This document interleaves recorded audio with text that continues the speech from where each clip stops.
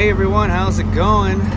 Welcome back. I'm back on the road, all fixed up, ready to go, ready for my long trips this week. Uh, right now, I am in Joseph City, Arizona, getting ready to take off to Jackson, Tennessee.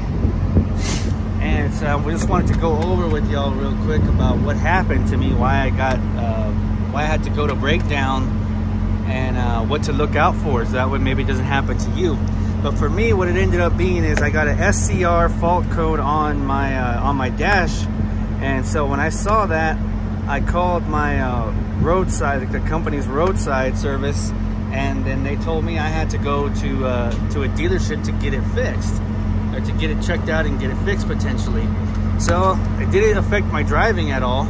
I just had to reroute where I was and go to the nearest uh, dealership they told me to go to. And, and when I got there, they did the diagnosis for everything. This is what the guy told me that was causing the codes. He said it was this right here, this fuse right here. The problem that he said with this was that one, this handle was broken off of this fuse here. And so he and then he said, which was causing this thing to kind of, I guess, be really loose and come out and come on and come off, which was causing the code.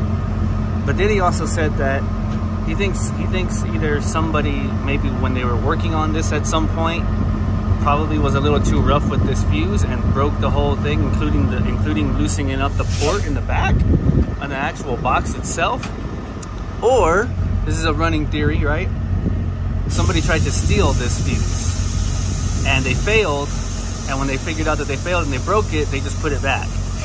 Running theory, no confirmation on that, but either way, this was broken the port on the, where it connects to was broken or loose enough where it causes that, that fault code. So what ended up having to happen is they had to replace this, this whole piece here, right? The connector and whatnot, plus the actual entire box itself can't just, once the port breaks or whatever is broken, you can't just take the port out, you have to replace the whole entire box. So they had to put a whole new fuse box here so that's what I was ended up being shut down for the weekend route. But they replaced it all, put everything back on. The codes are gone. I've already ran the truck for about uh, 500 miles at this point. I ran, uh, so it's been running really good, no problems. You know, knocking on knocking on uh, invisible wood because there's no wood around me. But uh, but yeah, just something to look out for there, guys. Is uh, this make sure make sure that when you're doing your, your regular pre-trips, you know, when you're checking all your regular stuff around the uh, the engine and whatnot, that one of the things you are checking for is to make sure no one's been missing, uh, especially if you've left the truck alone for an extended period at a time.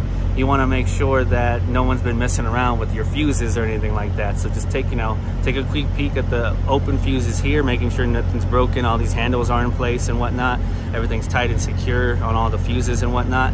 And then also just you know if you want, take a peek inside of your fuse box just make sure that all your fuses are present and no one's been opening up and taking out your fuses or anything like that.